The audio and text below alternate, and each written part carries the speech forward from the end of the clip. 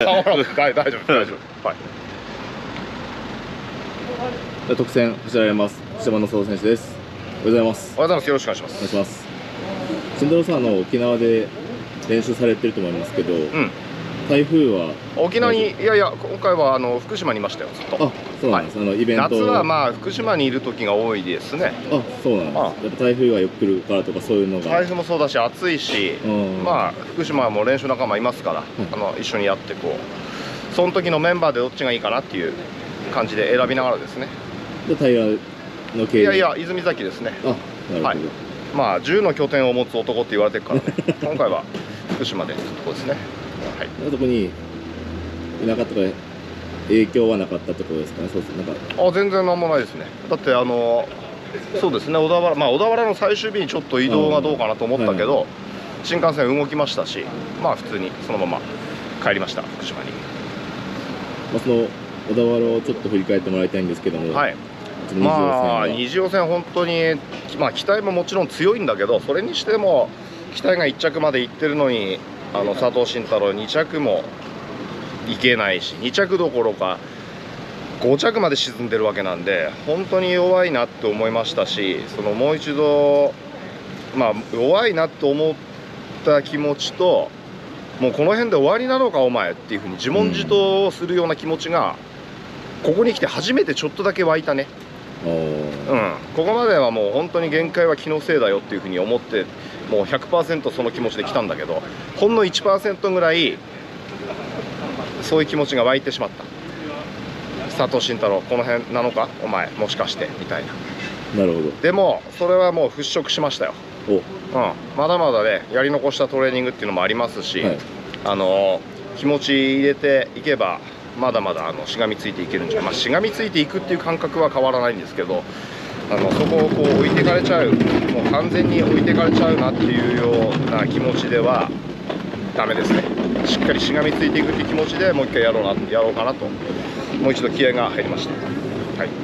でその期待選手とは昨年この向こう町の記念でも連携決勝でも連携してそうですねまあもともとやっぱり期待との連携の時に俺の一着って本当にないよね。うん、その準決勝の時がそうそう。あれが初めて指したんですよ。その前も期待と何回も連携してたんだけど多分初めて指したぐらいの感じだったと思うんで多分そのまあ相性客室客室的な相性みたいのもあると思うんですよ。うん。だから期待期待の後ろっていうのは本当に自分にとってはあのしっかり気合を入れていかなくちゃいけない場所ですね本当強いからね何回も踏み直しできるし、は いだから連携するときはいいんだけど敵になったときに本当に怖いですよね。まあ地区が違うわけなんで敵として走るときの方が多いわけなんでね、はい、うん。まあ、その、まあ、期待戦敵ということで今回特選なんですけど、まあ、ちょっと北日本勢は慎太郎さん一人で、まあ、どこに行くのかなっていうのもあったりはするんですけども戦い方はどうですか？まあちょっと決めらんないんでねあの決めずにっていうコメントしか出せないですね、はいまあ期待の3番手なりね空いてればまあちょっと考えいろいろ考えることもあるけどまあなんか3人いますしね。まあ、近畿の3番にやっぱり行きづらいなっていう。まあちょっとコメントからそこってこう決めちゃうのはうん少し違うのかなと思いますね、はいまあ何そこなんていうのまあいいいいけどそのいろいろこうイメージしてみたんだけどちょっとそこでどうなるかなってイメージがいいイメージがあんまり湧かなかったんですけど、まあ流れの中でそこになるっていうのははいある十分あると思うんですけど、まあ、最初からそこに決めちゃうっていうのはちょっとなかったですね。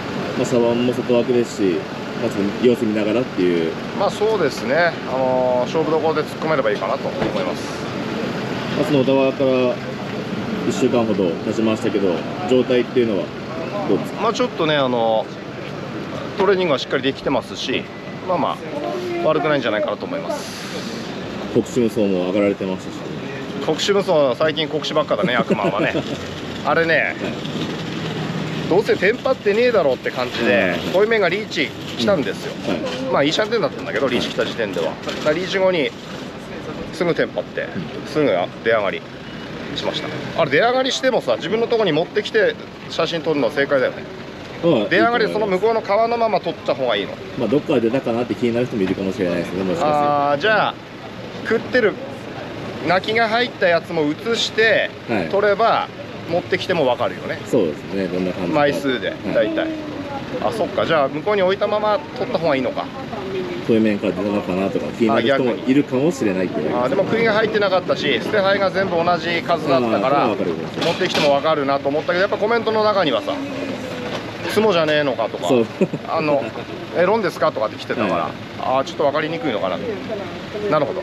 じゃあもうちょっと引いて泣き入ってないよっていうあのを見せて取ればいいね。いいと思います。はい。でもそろそろ違う役満も上がりたいんじゃないですか。あでもねスーアンコは2回テンパったんですよ。まあ、スーアンコもテンパったけど、まあ、国士が一番いいですね、上がりやすいっちゃ論もそうですよできますね。はい。まあまああの麻雀を楽しくやるためにもやっぱり本業の競輪をしっかり頑張ってあのやっていかなくちゃいけないですよね。はい。わかりました、はい。ではちょっとまた台風がなくなって暑くなってきましたけど意気込みを最後お願いします。あ暑いのは全然大好きですからあの暑くなればなるほど周りの皆さんが体力を削ってくれていいと思います。限界？気のせいだよ。